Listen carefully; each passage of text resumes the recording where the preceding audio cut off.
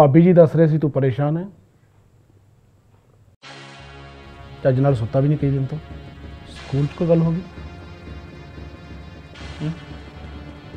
ਮੈਂ ਕਿਹਾ ਸਕੂਲ 'ਚ ਕੋਈ ਗੱਲ ਹੋ ਗਈ? ਹਾਂ। ਇਸ ਨੂੰ ਧੱਕੇ ਮਾਰ ਕੇ ਸਕੂਲ ਚੋਂ ਬਾਹਰ ਕੱਢੋ। ਇਹ ਸਕੂਲ 'ਚ ਤੱਕੀ ਤੈਨੂੰ ਇਸ ਧਰਤੀ ਤੇ ਰਹਿਣ ਦਾ ਕੋਈ ਹੱਕ ਨਹੀਂ ਹੈ? ਪਰ ਸਰ ਬੱਚਾ ਹੈ। ਇਸ ਦਾ ਸਕੂਲ 'ਚੋਂ ਹੁਣੇ ਨਾ ਕੱਟੋ ਪਰ ਸਰ। ਠੀਕ ਹੈ ਜੀ।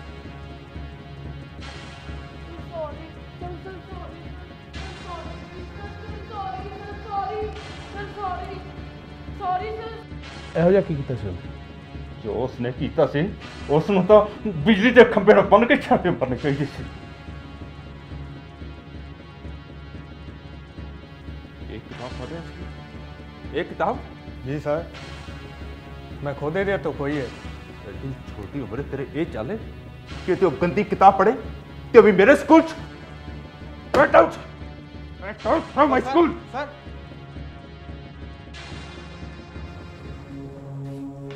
hello hello Adarsh ਤੁਸੀਂ? ਤੁਸੀਂ ਇੱਥੇ? ਕੀ ਗੱਲ ਮੇਰਾ ਇੱਥੇ ਹੋਣਾ ਮਨਾ ਹੈ? ਨਹੀਂ ਮੈਨੂੰ ਸੁਨੇਹਾ ਭੇਜ ਦਿੰਦੇ। ਮੈਂ ਆ ਜਾਂਦਾ। ਫਿਰ ਕੀ ਹੋਇਆ? ਮੈਂ ਆ ਗਿਆ। ਕੀ ਫ਼ਰਕ ਪੈਂਦਾ? ਮੈਂ ਹਲੇ ਇੰਨਾ ਨਿਕੰਮਾ ਨਹੀਂ ਹੋਇਆ। ਬੈਠੋ।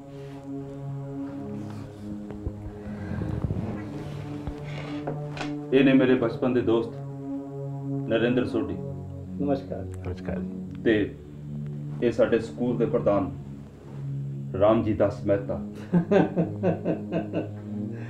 ਮੈਂ ਸੋਚਿਆ ਸੀ ਦੂਸਰੀ ਜਾਣ ਪਹਿਚਾਨ ਕਰਵਾਉਂਗੇ ਆਦਰਸ਼ ਮੇਰਾ ਵਿਦਿਆਰਥੀ ਹੈ ਕਾਲਜ ਪੜ੍ਹਦਾ ਸੀ ਮੇਰੇ ਕੋਲ ਮੈਨੂੰ ਪਤਾ ਤੁਸੀਂ ਕਿਉਂ ਆਏ ਹੋ ਇਸੇ ਲਈ ਇਸ ਲਈ ਸਕੂਲ ਦਾ ਪ੍ਰਧਾਨ ਕਹਿ ਕੇ ਜਾਣ ਪਹਿਚਾਨ ਕਰਵਾਈ ਹੈ ਮੈਂ ਤੁਹਾਡੇ ਵੱਲੋਂ ਸੁਨੇਹੇ ਨੂੰ ਉਡੀਕ ਰਿਹਾ ਸੀ। ਤੇ ਤੁਸੀਂ ਖੁਦ ਹੀ ਆ ਗਏ? ਕੀ ਹਰਜ਼ ਹੈ? ਕੀ ਹਰਜ਼ ਹੈ? ਮੇਰਾ ਹਰਜ਼ ਹੈ ਬੁਲਾਵਾ ਭੇਜਣਾ ਮੈਨੂੰ ਆਸਾਨੀ ਹੁੰਦੀ। ਆਦਰਸ਼ ਤੂੰ ਤੇ ਜਾਣਦਾ ਹੈ। ਜਦੋਂ ਤੂੰ ਮੇਰਾ ਵਿਦਿਆਰਥੀ ਹੁੰਦਾ ਸੀ ਉਦੋਂ ਤੋਂ ਕਿ ਮੈਂ ਤੈਨੂੰ ਕਿੰਨਾ ਮੇਰਾ ਮਤਲਬ ਹੈ ਮੈਂ ਤੇਰੇ 'ਚ ਕਿੰਨੀ ਸ਼ਰਧਾ ਰੱਖਦਾ ਹੈ।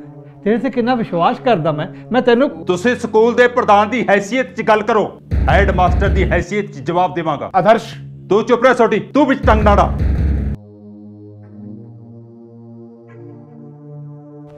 ਠੀਕ ਹੈ ਪ੍ਰਧਾਨ ਦੀ ਹੈਸੀਅਤ ਨਾਲ ਹੀ ਬੋਲਦਾ ਹੈ ਅਸ਼ੋਕ ਇੱਕ ਚੰਗਾ ਵਿਦਿਆਰਥੀ ਹੈ 2 ਸਾਲਾਂ ਤੋਂ ਕਲਾਸ 'ਚੋਂ ਫਸਟ ਆ ਰਿਹਾ ਹੈ ਇਹਦੇ ਨਾਲ ਅਪਰਾਧ ਘੱਟ ਤਾਂ ਨਹੀਂ ਹੋ ਜਾਂਦਾ ਸਜ਼ਾ ਤੇ ਘੱਟ ਹੋ ਸਕਦੀ ਹੈ ਫਿਰ ਉਸ ਦਾ ਪਹਿਲਾ ਅਪਰਾਧ ਹੈ। ਜੇ ਪਹਿਲਾ ਅਪਰਾਧ ਕਤਲ ਹੋਵੇ ਤਾਂ ਵੀ ਫਾਂਸੀ ਮਿਲਦੀ ਹੈ। ਪਰ ਇਹ ਕਤਲ ਨਹੀਂ ਹੈ। ਫਾਂਸੀ ਦਾ ਹੁਕਮ ਵੀ ਨਹੀਂ ਸੁਣਾਇਆ। ਸਕੂਲੋਂ ਨਾ ਕੱਟਣਾ ਮੈਂ ਇਸ ਮਾਮਲੇ 'ਚ ਸਭ ਤੋਂ ਹਲਕੀ ਸਜ਼ਾ ਸਮਝਦਾ ਸਕੂਲੋਂ ਕੱਢਣ ਤੋਂ ਵੱਧ ਅਸੀਂ ਸਜ਼ਾ ਦੇ ਵੀ ਕੀ ਸਕਦੇ ਹਾਂ? ਹਾਂ ਬਿਲਕੁਲ ਨਹੀਂ ਦੇ ਸਕਦੇ। ਨਹੀਂ ਦੇ ਸਕਦੇ। ਉਸ ਦੇ ਅਪਰਾਧ ਨੂੰ ਦੇਖਦੇ ਹੋਏ ਸਭ ਤੋਂ ਹਲਕੀ ਸਜ਼ਾ ਦੇਣ ਲਈ ਅਸੀਂ ਮਜਬੂਰ ਹਾਂ। ਇਸ ਲਈ ਉਸ ਦੀ ਸਜ਼ਾ ਘੱਟ ਕਰਨ ਦਾ ਸਵਾਲ ਹੀ ਪੈਦਾ ਨਹੀਂ ਹੁੰਦਾ। ਆਦਰਸ਼ ਉਹ ਸਿਰਫ ਇੱਕ ਕਿਤਾਬ ਪੜ੍ਹ ਰਿਹਾ ਸੀ। ਕਿਤਾਬ ਨਹੀਂ ਦੁਨੀਆ ਦੀ ਸਭ ਤੋਂ ਗੰਦੀ ਕਿਤਾਬ ਜ਼ਹਿਰੀਲੀ ਕਿਤਾਬ।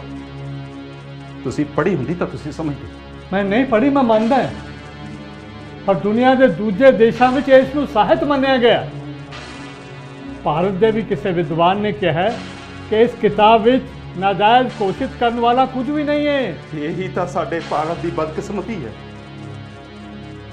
ਇਹਨਾਂ ਸੋ ਕਾਲਡ ਵਿਦਵਾਨਾਂ ਕਰਕੇ ਇਹੋ ਜੀ ਗੰਦੀ ਕਿਤਾਬ ਸਾਡੇ ਭਾਰਤ ਵਿੱਚ ਸ਼ਰੇਆਮ ਵਿਕਦੀ ਹੈ। ਜਿਹੜੀ ਕਿਤਾਬ ਵੱਡਿਆਂ ਲਈ ਵੀ ਪੜ੍ਹਨੀ, ਵਰਜਿਤ ਹੋਣੀ ਚਾਹੀਦੀ ਹੈ, ਉਹ ਕਿਤਾਬ ਅਸ਼ੋਕ ਵਰਗੇ 14 15 ਸਾਲ ਦੇ ਬੱਚੇ ਪੜ੍ਹਦੇ ਨੇ। ਨਹੀਂ ਸਰ। ਉਸ ਨੂੰ ਸਕੂਲੋਂ ਕੱਢਣ ਤੋਂ ਸਿਵਾਏ ਹੋਰ ਕੋਈ ਚਾਰਾ ਨਹੀਂ ਮੇਰੇ ਕੋਲ। ਆਦਰਸ਼, ਜਿਹੜੀ ਕਿਤਾਬ ਖੋਲੇ ਆਮ ਵਿਕਦੀ ਹੈ ਉਸ ਨੂੰ ਪੜਨ ਦੇ ਬਦਲੇ ਸਕੂਲੋਂ ਕੱਢਣਾ ਛੋਟੇ ਅਪਰਾਧ ਲਈ ਵੱਡੀ ਸਜ਼ਾ ਗਿਣੀ ਜਾਏਗੀ। ਹਰ ਕਿਤੇ ਰਿਸ਼ਵਤ ਚੱਲਦੀ ਹੈ, ਚੋਰੀ ਹੁੰਦੀ ਹੈ, ਇਸ ਲਈ ਤੁਹਾਡਾ ਲੜਕਾ ਚੋਰੀ ਕਰੇ ਤਾਂ ਤੁਸੀਂ ਇਸ ਨੂੰ ਸਜ਼ਾ ਨਹੀਂ ਦਿਓਗੇ।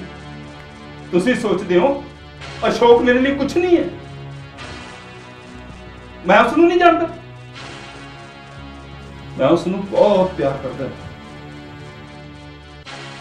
ਅਸ਼ੋਕ ਰਜਿਸਟਰ 'ਚ ਲਿਖਿਆ ਹੋਇਆ ਇੱਕ ਨਾਂ ਨਹੀਂ ਹੈ। ਜਿਸ ਨੂੰ ਕੱਟਣ ਨਾਲ ਮੇਰਾ ਕੁਝ ਨਹੀਂ ਵਿਗੜਦਾ। ਅੱਜ ਸਾਰਾ ਦਿਨ ਸਕੂਲ 'ਚ ਸੰਨਾਟਾ ਛਾਇਆ ਰਿਹਾ। ਵਿਦਿਆਰਥੀਆਂ ਦੇ ਮੂੰਹੋਂ ਗੱਲਾਂ ਨਹੀਂ। ਅਧਿਆਪਕਾਂ ਦੇ ਕਮਰੇ 'ਚੋਂ ਹੱਸਣ ਬੋਲਣ ਦੀ ਆਵਾਜ਼ਾਂ ਨਹੀਂ। ਤੇ ਬੜਾਸੀ ਸੰਭਲ ਸੰਭਲ ਕੇ ਪੈਰ ਰੱਖ ਰਿਹਾ ਸੀ।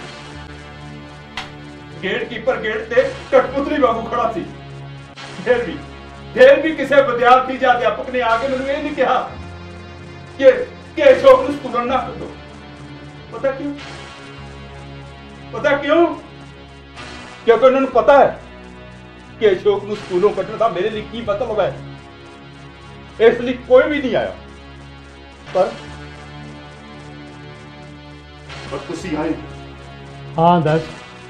मैं वो लोग तेरे कोल नहीं आए पर उन्होंने तो बहुत सारे लोग मेरे घर आए थे। नहीं नहीं नहीं। शिकायत करने नहीं। ਤੇਰੀ ਸ਼ਿਕਾਇਤ ਕਰਨ ਬਾਰੇ ਤਾਂ ਤੇਰਾ ਕੋਈ ਵਿਦਿਆਰਥੀ ਅਧਿਆਪਕ ਸੋਚ ਵੀ ਨਹੀਂ ਸਕਦਾ। ਉਹ ਲੋਕ ਆਏ ਸੀ ਇੱਕ ਪ੍ਰਸ਼ਨ ਲੈ ਕੇ ਕਿ ਕੀ ਕੋਈ ਹੱਲ ਹੈ? ਖੈਰ ਛੱਡ। ਉਹ ਕਿਤਾਬ ਤੂੰ ਮੈਨੂੰ ਦੇ ਮੈਂ ਪੜ੍ਹ ਕੇ ਦੇਖਦਾ। ਉਹ ਕਿਤਾਬ ਮੈਂ ਪੜ੍ਹ ਕੇ ਅੱਗ ਲਾ ਦਿੱਤੀ। ਫਿਰ ਕੋਈ ਗੱਲ ਨਹੀਂ। ਮੈਂ ਅਰੇਂਜ ਕਰ ਲਵਾਂਗਾ। ਔਰ ਮੈਨੂੰ ਇੱਕ ਵਚਨ ਦੇ। ਕਿ ਉਹ ਪੜ੍ਹ ਕੇ ਜੇ ਮੈਨੂੰ ਲੱਗਿਆ ਕਿ ਉਸ ਕਿਤਾਬ ਨੂੰ ਪੜ੍ਹਨ ਦੇ ਅਪਰਾਧ ਬਦਲੇ ਅਸ਼ੋਕ ਨੂੰ ਸਕੂਲੋਂ ਕੱਢਣਾ ਸਖਤ ਸਜ਼ਾ ਹੈ। ਫਿਰ ਤਾਂ ਤੂੰ ਮੰਨੇਗਾ ਦਰਸ਼ ਹਾਂ ਮੰਨਾਗਾ। ਪਰ ਮੈਨੂੰ ਛੁੱਟੀ ਦੇਣੀ ਪਏਗੀ। ਮਤਲਬ ਤੂੰ ਮੈਂ ਅਸਤੀਫਾ ਦੇ ਦਿਆਂਗਾ। ਉਸ ਨੂੰ ਮੰਨਣਾ ਕਹਿੰਦੇ ਹੈ? ਮੈਥੋਂ ਵੱਧ ਯੋਗ ਲੋਕ ਹੋਰ ਬਥੇਰੇ ਨੇ। ਓਕੇ। ਓਕੇ। ਮੈਂ ਚੱਲਦਾ ਬਹੂ ਰਾਣੀ ਕਿੱਥੇ ਆ ਤੂੰ? ਅੱਛਾ ਤੂੰ ਇੱਥੇ ਸੀ। ਮੈਂ ਦੇਖਿਆ ਨਹੀਂ। ਜਿਉਂਦੇ ਰਹਿ। ਕੀ ਪੀਓਗੇ? ਨਹੀਂ ਫਿਰ ਸੇ ਕਿਸੇ ਦਾ ਮੈਂ ਚੱਲਦਾ। ਮੈਂ ਕਿਸੇ ਨੂੰ ਕਹਿ ਦਿੰਦਾ ਕਿਤਾਬ ਲੈ ਕੇ ਤੁਹਾਡੇ ਘਰ ਪਹੁੰਚਾ ਦੇਣਗੇ। ਹੁਣ ਕਿਤਾਬ ਪੜ੍ਹ ਕੇ ਕੀ ਕਰਨਾ बोहरा ने किसी दिन घर आओ बेटा। आदर्श वो भी बहुत दिनों तो नहीं आया। आदर्श अंकल आदर्श अंकल कह के, प्रीति ने जान खा रखी है मेरी। प्रीति पोती है जी मेरी। आदर्श दी अन्नी भगत है। अच्छा बच्चों, जियोंदे रहो भाई।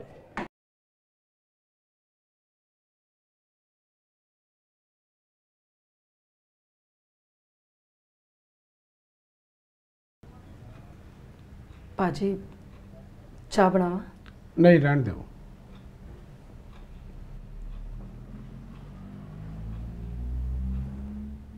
ਕਿਹੜੀ ਕਿਤਾਬ ਪੜ੍ਹ ਰਹੇ ਸੀ ਅਸ਼ੋਕ ਲੋਲਿਤਾ ਨੋਵੇਕੋਵ ਦੀ ਲੋਲਿਤ ਹਾਂ ਨੋਬੇਕੋਵ ਦੀ ਲੋਲਿਤਾ ਤੂੰ ਪੜ੍ਹੀ ਹੁੰਦੀ ਤਾਂ ਤੂੰ ਸਮਝਦਾ ਕਿ ਅਸ਼ੋਕ ਨੂੰ ਕਿਉਂ ਸਕੂਲੋਂ ਕੱਢਣਾ ਪਿਆ ਲੋਲਿਤਾ ਇੱਕ ਨਾਬਾਲਗ ਲੜਕੀ ਹੈ 12 13 ਸਾਲਾਂ ਦੀ ਸੋਡੀ ਤੂੰ ਉਸ ਨੂੰ ਪੜ੍ਹੇ ਬਿਨਾ ਤੂੰ ਉਸ ਦੀ ਕਲਪਨਾ ਵੀ ਨਹੀਂ ਕਰ ਸਕਦਾ। ਆਦਰਸ਼ ਮੈਂ ਉਹ ਕਿਤਾਬ ਪੜ੍ਹੀ ਹੈ। ਪੜ੍ਹੀ ਉਹੀ ਹੈ ਨਾ ਜਿਹਦੇ 'ਚ ਇੱਕ ਅਧੇੜ ਉਮਰ ਦਾ ਵਿਅਕਤੀ ਛੋਟੀਆਂ ਛੋਟੀਆਂ ਬੱਚੀਆਂ ਤੇ ਆਕਰਸ਼ਿਤ ਹੁੰਦਾ ਹੈ। ਉਹਨਾਂ ਦਾ ਸ਼ੋਸ਼ਣ ਕਰਦਾ ਹੈ। ਔਰ ਇਸ ਹੱਦ ਤੱਕ ਗਿਰ ਜਾਂਦਾ ਹੈ ਕਿ ਇੱਕ ਬੱਚੀ ਨੂੰ ਹਾਸਲ ਕਰਨ ਦੇ ਲਈ ਉਹਦੀ ਵਿਧਵਾ ਮਾਂ ਤੱਕ ਨਾਲ ਵਿਆਹ ਕਰਵਾ ਲੈਂਦਾ ਹੈ। ਫਿਰ ਤੈਨੂੰ ਨਹੀਂ ਲੱਗਦਾ? ਕਿ ਅਸ਼ੋਕ ਨੂੰ ਸਕੂਲੋਂ ਕੱਢਣਾ ਜਾਇਜ਼ ਹੈ? ਦੱਸ ਤੁਹਾਡੀ। ਦੱਸ। ਦੇਖ ਆਦਰਸ਼ ਲੋਲਿਤਾ ਪੜਨਾ ਕਲਾਸ ਵਿੱਚ ਬੈਠ ਕੇ ਅਸ਼ੋਕ ਦੀ ਬਹੁਤ ਵੱਡੀ ਗਲਤੀ ਹੈ। ਪਰ ਇਹਦੇ ਲਈ ਉਹਨੂੰ ਸਕੂਲੋਂ ਨਹੀਂ ਕੱਢਿਆ ਜਾ ਸਕਦਾ। ਤੁਹਾਡੀ ਤੈਨੂੰ ਪਤਾ ਨਹੀਂ ਹੈ ਕਿ ਤੈਨੂੰ ਕਿੱਡੀ ਘਟੀਆ ਕਿਰਤ ਦਾ ਸਮਰਥਨ ਕਰ ਰਿਹਾ।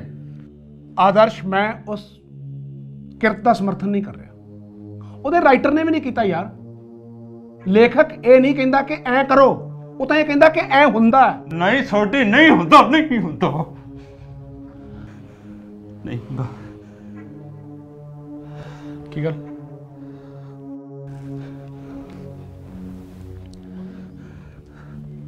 ਮੈਂ ਜ਼ਰਾ ਘੁੰਮ ਕੇ ਆਉਣਾ। ਕਿੱਥੇ ਜਾ ਰਹੇ ਹੋ? ਕਿਤੇ ਨਹੀਂ ਬੈਸਾ ਚੌਂਕ ਤੱਕ ਘੁੰਮ ਕੇ ਆਉਣਾ। ਮੈਂ ਚੱਲਾਂ ਨਾਲ? ਨਹੀਂ ਨਹੀਂ। ਤੂੰ ਬੈਠ।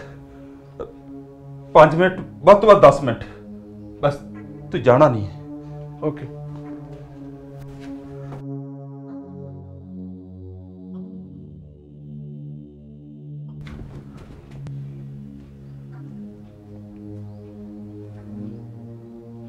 ਚੰਬਲਗੜ੍ਹ ਕੀ ਹੋਇਆ ਸੀ ਬਾਬੂ ਜੀ?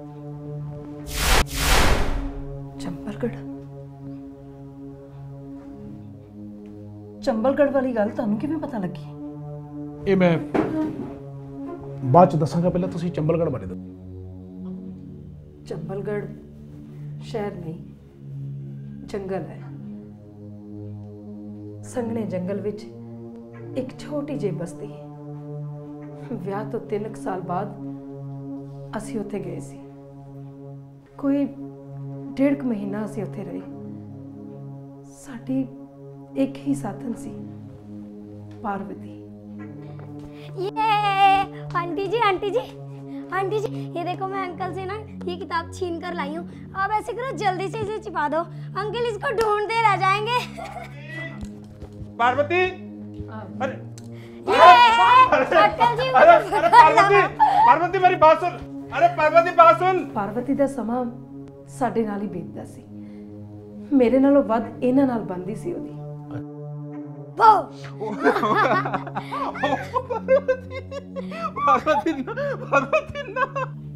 पर कुछ समय बीतन तो बाद शायद ये उकता गए सी उस जगह तो रेनू हम्म?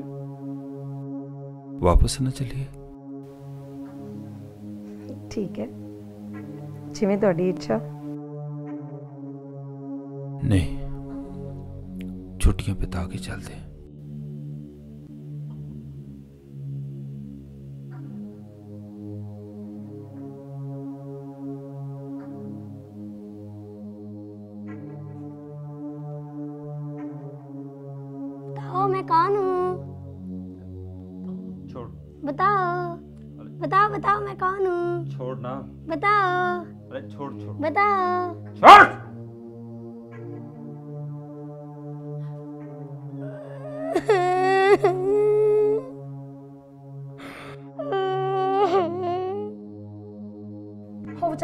ਦਿਨ ਰੋਂਦੀ ਰਹੀ ਮੈਨੂੰ ਖੁਦ ਬੜੀ ਹੈਰਾਨੀ ਹੋਈ ਸ਼ਾਮ ਨੂੰ ਬਾਪ ਦੀ ਡਾਂਟ ਖਾ ਕੇ ਵੀ ਕਮਰੇ ਤੋਂ ਬਾਹਰ ਨਾ ਨਿਕਲੀ ਉਹ ਇੱਕ ਦਿਨ ਸ਼ਾਮ ਨੂੰ अंकल चलो हम जगह ਪਾਰਵਤੀ ਨੇ ਬਹੁਤ ਜ਼ਿੱਦ ਕੀਤੀ ਕਿ ਘੁੰਮਣ ਜਾਣਾ ਹੈ। अंकल चलो ना अरे आप जाओ ना मैं काम अंकल प्लीज आप चलो कर अरे मैंने कहा ना आप जाओ मैं अंकल काम आप कर चलो मैं कहा ना मैं काम कर रहा हूँ अंकल आप चलो अरे कौन काम कर रहा हूँ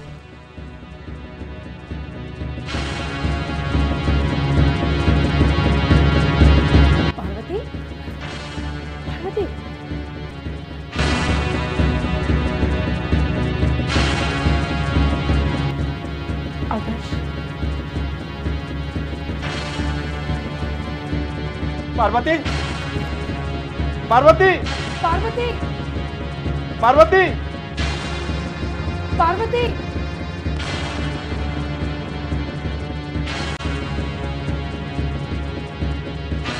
उस तो बाद पता नहीं कितना समा बीत गया। हनेरा हो गया। पार्वती? पार्वती? पार्वती? पार्वती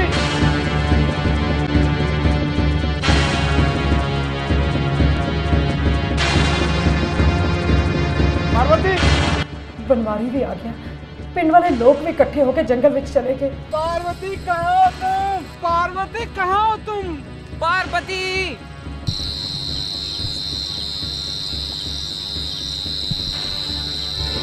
नहीं नहीं नहीं। फिर क्या? ਪਹਿਲਾਂ ਇਹਨਾਂ ਨੂੰ ਲੈ ਕੇ ਆਈ। ਕੱਪੜੇ ਮਿੱਟੀ ਤੇ ਖੂਨ ਵਿੱਚ ਲੱਥਪੱਥ ਸਨ। ਨਾਲੇ ਵਿੱਚ ਡਿੱਗਣ ਨਾਲ ਸਿਰ ਤੇ ਸੱਟ ਲੱਗ ਗਈ ਸੀ ਤੇ ਬੇਹੋਸ਼ ਹੋ ਗਏ।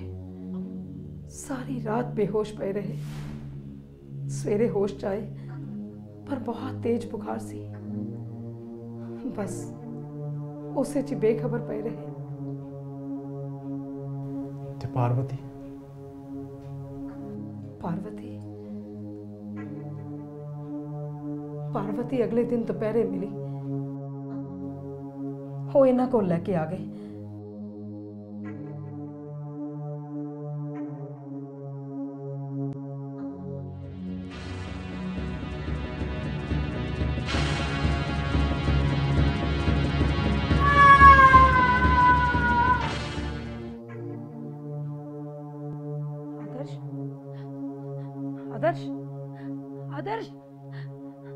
ਆਦਰਸ਼ ਇਹਨਾਂ ਦੇ ਚਿਹਰੇ ਤੇ ਪੱਟੀਆਂ ਵੇਖ ਕੇ ਪਾਰਵਤੀ ਹੋਰ ਵੀ ਡਰ ਗਈ। ਚੀਕ ਮਾਰ ਕੇ ਰੋਣ ਲੱਗ ਪਈ। ਫਿਰ ਇਹ ਫਿਰ ਅਚੇਤ ਹੋ ਗਏ। ਉਸ ਤੋਂ ਬਾਅਦ ਮੈਂ ਕਦੇ ਵੀ ਪਾਰਵਤੀ ਨੂੰ ਇਹਨਾਂ ਕੋਲ ਨਹੀਂ ਆਉਣ ਦਿੱਤਾ। ਕੀ ਕਰਦੀ ਪਾਜੀ ਮੇਰੇ ਲਈ ਤਾਂ ਪਾਰਵਤੀ ਤੋਂ ਪਹਿਲਾਂ ਇਹੀ ਨੇ ਨਾ। ਮੈਂ ਵੀ ਪਾਰਵਤੀ ਨੂੰ ਬਹੁਤ ਪਿਆਰ ਕਰਦੀ ਹਾਂ, ਪਰ ਤੁਸੀਂ ਠੀਕ ਕੀਤਾ। ਇਹਨਾਂ ਦਾ ਬੁਖਾਰ ਘਟਦੇ ਹੀ ਮੈਂ ਇਹਨਾਂ ਨੂੰ ਪਟਿਆਲੇ ਲੈ ਆਈ। ਪੂਰੇ 10 ਸਾਲ ਹੋ ਗਏ ਨੇ ਇਸ ਗੱਲ ਨੂੰ। ਪਰ ਅੱਜ ਵੀ ਉਹ ਸਭ ਕੁਝ ਯਾਦ ਕਰਕੇ ਸਿਰ ਭਾਰਾ ਹੋ ਜਾਂਦਾ ਹੈ। ਇਸ ਦੌਰਾਨ ਪਾਰਵਤੀ ਦੀ ਕੋਈ ਖਬਰਸਾਰ? ਕਿਵੇਂ ਮਿਲਦੀ? ਇਹਨਾਂ ਨੇ ਜਾਣਬੁੱਝ ਕੇ ਆਪਣੇ ਆਪ ਨੂੰ ਕੱਟ ਆਫ ਕਰ ਰੱਖਿਆ। ਸਾਰਾ ਦਿਨ ਸਿਰਫ ਕੰਮ ਕੰਮ ਤੇ ਕੰਮ। ਬਿਨਾਂ ਸਕੂਲ ਤੋਂ ਹੋਰ ਕਿਸੇ ਨਾਲ ਕੋਈ ਸਰੋਕਾਰ ਨਹੀਂ ਮੇਰੇ ਨਾਲ ਵੀ ਨਹੀਂ। ਕੀ ਮਤਲਬ ਤੁਹਾਡੇ ਨਾਲ ਵੀ ਨਹੀਂ? ਮੈਨੂੰ ਮੈਨੂੰ ਦੇਖਣ ਦਾ ਉਹਨਾਂ ਕੋਲ ਟਾਈਮ ਕਿੱਥੇ ਹੈ? ਸਾਰਾ ਦਿਨ ਤਾਂ ਸਕੂਲ ਵਿੱਚ ਰੁੱਝੇ ਰਹਿੰਦੇ ਨੇ। ਦੇਖੋ ਜੇ ਤੁਸੀਂ ਸਾਫ਼-ਸਾਫ਼ ਨਹੀਂ ਦੱਸੋਗੇ ਤਾਂ ਪਰ ਇਹ ਗੱਲ ਤਾਂ ਬਿਲਕੁਲ ਬੇਕਾਰ ਹੈ। ਇਸ ਗੱਲ ਦਾ ਉਹਦੇ ਨਾਲ ਕੋਈ ਸੰਬੰਧ ਨਹੀਂ। ਭਾਬੀ ਜੀ ਆਦਰਸ਼ ਨੂੰ ਤੁਹਾਡੇ ਨਾਲ ਕੋਈ ਸਰੋਕਾਰ ਨਹੀਂ। ਇਹ ਗੱਲ ਬੇਕਾਰ ਕਿਵੇਂ ਹੋ ਸਕਦੀ ਹੈ? ਤੁਹਾਨੂੰ ਪਤਾ ਲੋਲਿਤਾ ਪੜਨ ਕਰਕੇ ਹੀ ਆਦਰਸ਼ ਅਸ਼ੋਕ ਨੂੰ ਸਕੂਲ ਚੋਂ ਕੱਢ ਰਿਹਾ ਹੈ। ਪਤਾ ਕਿਉਂ? ਕਿਉਂ? ਲੋਲਤਾ ਦੀ ਕਹਾਣੀ ਬਿਲਕੁਲ ਭਾਵੇਂ ਪਾਰਵਤੀ ਦੀ ਕਹਾਣੀ ਵਰਗੀ ਨਹੀਂ ਪਰ ਉਹਦੇ ਨਾਲ ਮੇਲ ਖਾਂਦੀ ਹੈ। ਲੋਲਤਾ ਵੀ ਬੱਚੀ ਸੀ।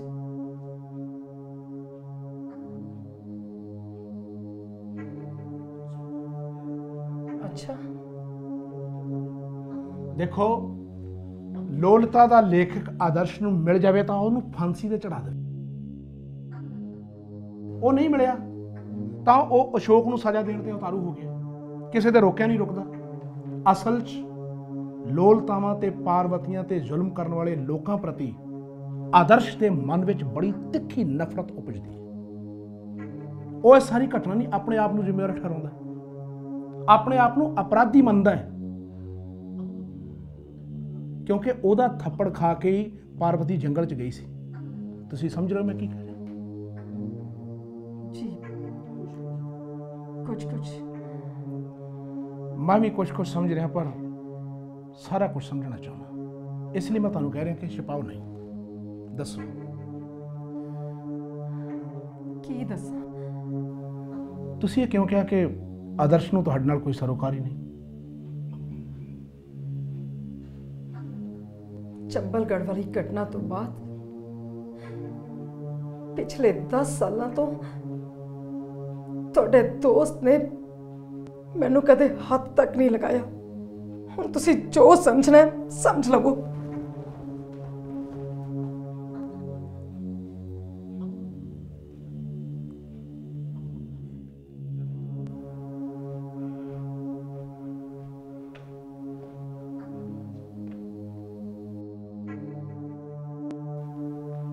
आदर्श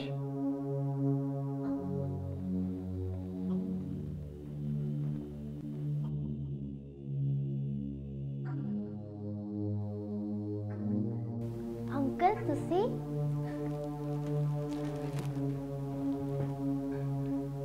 प्रीति मैं तेरे लिए डॉल लेके आया। सच्ची? मेरे लिए? हाँ बेटा। तुम्हें तो एक डॉल ही है ना? Thank you uncle uncle uncle uncle ਉਹ ਵੀ ਮੇਰੇ ਲਈ ਹੈ। ਨਹੀਂ ਬੇਟਾ ਇਹ ਤੇਰੇ ਲਈ ਨਹੀਂ ਹੈ। ਮੈਂ ਜਾ ਰਿਹਾ। ਅੰਕਲ ਬੈਠੋ ਨਾ। ਨਹੀਂ ਮੈਂ ਜਾ ਰਿਹਾ।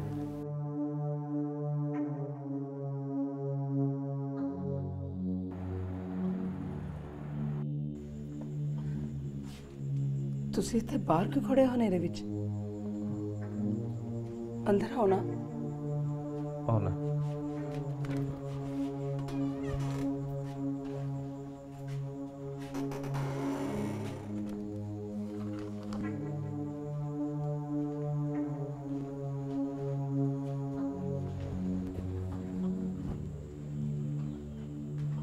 ਉਹ ਸੋਡੀ ਚਲਾ ਗਿਆ ਉਹ ਤਾਂ ਤੁਹਾਨੂੰ ਹੀ ਲੱਭਣ ਗਏ ਸੀ ਕਿਉਂ ਕਿੱਥੇ ਸੀ ਤੂੰ ਇੰਨੇ ਚਿਰ ਤੋਂ? ਤਾਂ ਬਸ ਇੱਥੇ ਹੀ ਘੁੰਮ ਰਿਹਾ ਸੀਗਾ। ਤੇ ਮੈਂ ਸੋਚਿਆ ਫਿਰ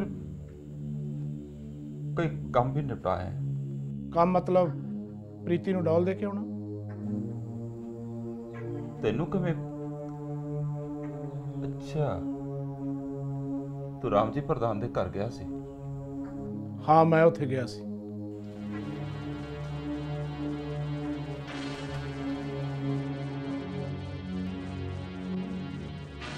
ਆ ਕੀ ਹੈ?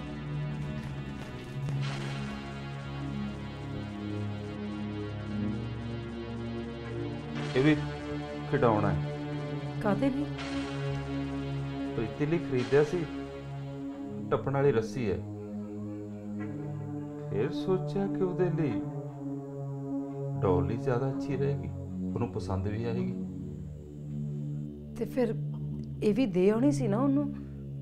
ਹੁਣ ਇਹਦਾ ਕੀ ਕਰੋਗੇ? ਇਹ ਉਦੋਂ ਔੜੀ ਨਹੀਂ।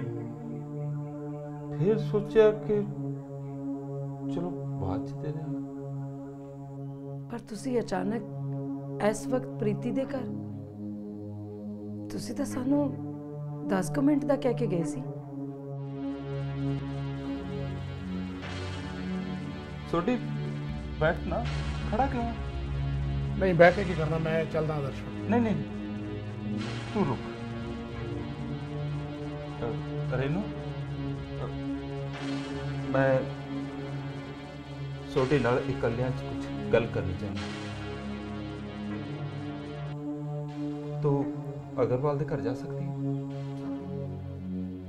ਹਾਂ ਹਾਂ ਜ਼ਰੂਰ ਜਾ ਸਕਦੀ ਹਾਂ ਠੀਕ ਹੈ ਮੈਂ ਆਉਂਦੀ ਹਾਂ ਹੁਣੇ ਰੇਨੂ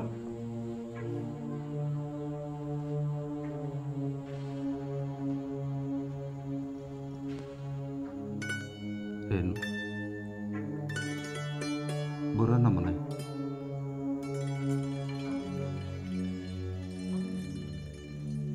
ਅਚਾਨਕ ਮੇਰੇ ਨਾਲ ਇਹ ਫਾਰਮੈਲਿਟੀ ਕਿਉਂ ਬਸ ਬਸ ਕੀ ਤੈਨੂੰ ਮੇਰੀ ਬਹੁਤ ਚਿੰਤਾ ਰਹਿੰਦੀ ਹੈ ਨਾ ਮੈਨੂੰ ਪਤਾ ਹੈ ਬਸ ਉਹਨੂੰ ਹੋਰ ਚਿੰਤਾ ਨਹੀਂ ਸਭ ਠੀਕ ਹੋ ਜਾਏਗਾ ਬਸ ਮੈਨੂੰ ਇੱਕ ਘੰਟਾ ਚਾਹੀਦਾ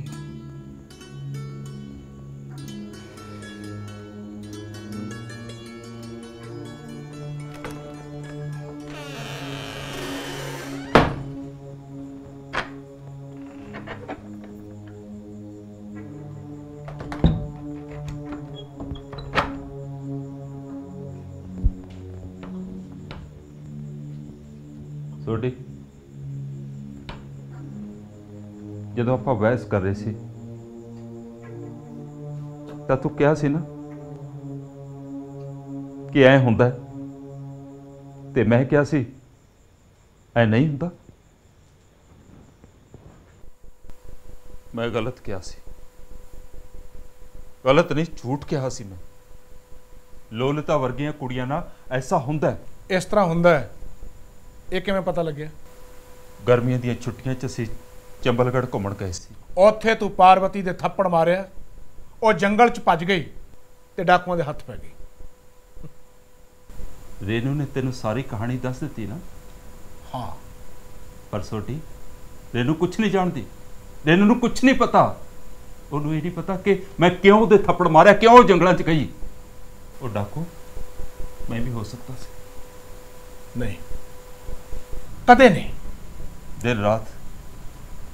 ਦਿਨ ਰਾਤ ਮਨ ਚ ਜ਼ਹਿਰੀਲੇ ਕਟਾਉਣੋਂ ਵੱਧਦੇ ਵੱਧਦੇ ਬੇਸ਼ੁਮਾਰ ਹੋ ਗਏ। ਸਾਰੇ ਮਨ ਤੇ ਜ਼ਹਿਰ ਛਾ ਗਿਆ। ਕਿਉਂ ਉਹ ਜੰਗਲਾਂ ਚ ਗਈ? ਕਿਉਂ ਮੈਂ ਉਹਦੇ ਥੱਪੜ ਮਾਰਿਆ? ਕਿਉਂ ਸੋਟੀ ਕਿਉਂ? ਆਦਰਸ਼ ਤੂੰ ਕਿਉਂ ਆਪਣੇ ਆਪ ਨੂੰ ਦੋਸ਼ੀ ਮੰਨ ਕੇ ਪਰੇਸ਼ਾਨ ਹੋ ਰਿਹਾ? ਇਸ ਸਭ ਕਾਸੇ ਨੂੰ ਇੱਕ ਦੁਰਘਟਨਾ ਸਮਝ ਕੇ ਭੁੱਲ ਜਾਣ ਦੀ ਕੋਸ਼ਿਸ਼ ਕਰ। ਮੈਂ ਕੋਸ਼ਿਸ਼ ਕਰ ਰਿਹਾ ਸੀ। ਭੁੱਲ ਵੀ ਰਿਹਾ ਸੀ। ਪਰ ਪਾਰਵਤੀ ਫੇਰ ਆ ਰਹੀ ਹੈ ਸੋਟੀ ਪਾਰਵਤੀ ਫੇਰ ਆ ਰਹੀ ਹੈ। ਪਾਰਵਤੀ ਆ ਰਹੀ ਕੀ ਬਕਵਾਸ ਕਰ ਰਿਹਾ ਤੂੰ? ਮਨ ਤੇ ਫੇਰ ਉਹੀ ਜ਼ਹਿਰ ਛਾ ਗਿਆ। ਕੋਈ ਰਸਤੇ ਨਹੀਂ ਲੱਭ ਰਿਹਾ? ਅਸ਼ੋਕ ਨੂੰ ਸਕੂਲੋਂ ਕੱਢ ਰਹੇ ਆ ਪ੍ਰਧਾਨ ਜੀ ਨਾਲ ਝਗੜਾ ਕਰ ਰਹੇ ਆ ਪਰ ਕੁਝ ਸਮਝ ਨਹੀਂ ਆ ਰਹੀ। ਛੋਟੀ ਪਾਰਵਤੀ ਫੇਰ ਆ ਰਹੀ ਹੈ। ਕੀ ਅਬਾ ਤਬਾ ਬੋਲੀ ਜਾ ਰਿਹਾ ਤੂੰ ਕਿੱਥੇ ਆ ਪਾਰਵਤੀ ਪ੍ਰੀਤੀ ਆਦਰਸ਼ ਨਹੀਂ ਹਾਂ ਹਾਂ ਸੋਡੀ ਹਾਂ ਸੋਡੀ ਪਾਰਵਤੀ ਸ਼ਾਇਦ ਅਤੀਤ ਸੀ ਪਰ ਪ੍ਰੀਤੀ ਵਰਤਮਾਨ ਪਾਰਵਤੀ ਤਾਂ ਸ਼ਾਇਦ ਡਾਕੋਂ ਦੇ ਹੱਥ ਪਈ ਸੀ ਪਰ ਪ੍ਰੀਤੀ ਪ੍ਰੀਤੀ ਬਾਰੇ ਕੀ ਕਿਹਾ ਜਾ ਸਕਦਾ? ਦੇਖ ਆਦਰਸ਼ ਤੇਰੇ ਮਨ 'ਚ ਜਿੰਨੇ ਮਰਜ਼ੀ ਗੰਦੇ ਵਿਚਾਰ ਉਤਪਨ ਹੋਣ ਪਰ ਤੂੰ ਉਹਨਾਂ ਨੂੰ ਆਪਣੇ ਆਪ ਤੇ ਹਾਵੀ ਨਹੀਂ ਹੋਣ ਦੇਗਾ ਮੈਂ ਤੈਨੂੰ ਚੰਗੀ ਤਰ੍ਹਾਂ ਜਾਣਦਾ ਇੱਕ ਗੱਲ ਦਾ ਜਵਾਬ ਦੇ ਸੋਡੀ ਜਿਸ ਡਾਕੂ ਨੇ ਪਾਰਵਤੀ ਨੂੰ ਬਰਬਾਦ ਕੀਤਾ ਉਸ ਨੂੰ ਫਾਂਸੀ ਤੋਂ ਸਿਵਾਏ ਕੋਈ ਹੋਰ ਸਜ਼ਾ ਹੋ ਸਕਦੀ? ਇਸ ਗੱਲ ਦਾ ਹੁਣ ਜੇ ਤੈਨੂੰ ਕਿਸੇ ਦਿਨ ਇਹ ਪਤਾ ਲੱਗੇ ਕਿ ਪ੍ਰੀਤੀ ਨਾਲ ਕਿਸੇ ਨੇ ਆਦਰਸ਼ ਜੇ ਇਹ ਪਤਾ ਲੱਗੇ ਕਿ ਜਿਸ ਨੇ ਕੀਤਾ ਉਸ ਨੂੰ ਫਾਂਸੀ ਦੀ ਸਜ਼ਾ ਹੋਈ ਹੈ ਕੀ ਤੂੰ ਇਸ ਨੂੰ ਮੰਨੇਗਾ? ਇਨਸਾਫ ਮੰਨੇਗਾ? ਹਾਂ ਮੰਨਾਂਗਾ। ਪਰ ਮੈਂ ਜਾਣਦਾ ਕਿ ਉਹ ਡਾਕੂ ਤੂੰ ਨਹੀਂ ਹੈ ਔਰ ਨਾ ਹੀ ਕਿਸੇ ਦਿਨ ਹੋਵੇਂਗਾ। ਠੀਕ ਹੈ ਸੋਡੀ ਮੈਂ ਵਾਅਦਾ ਕਰਦਾ ਕਿ ਮੇਰੇ ਵੱਲੋਂ ਕਦੇ ਵੀ ਪ੍ਰੀਤੀ ਨੂੰ ਕੋਈ ਨੁਕਸਾਨ ਨਹੀਂ ਹੋਏਗਾ। ਮੇਰਾ ਇੱਕ ਕੰਮ ਕਰ ਯਾਰ। ਕੀ? ਇਹ ਚਿੱਠੀ ਪ੍ਰਧਾਨ ਜੀ ਹੁੰਦੇ ਆ। ਹੁਣੇ? ਹਾਂ ਹੁਣੇ। ਕੀ ਲਿਖਿਆ ਇਹਦੇ 'ਚ? ਪੜ੍ਹ ਲੈ।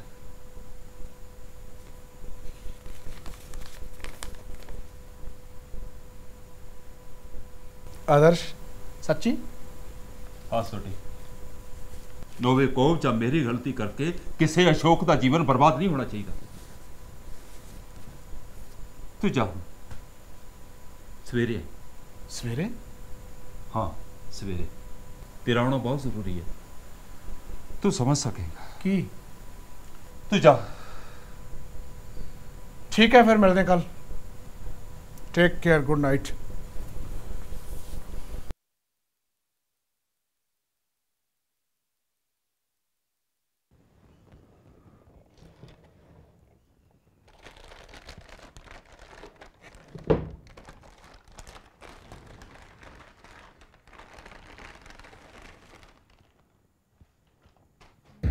ਆ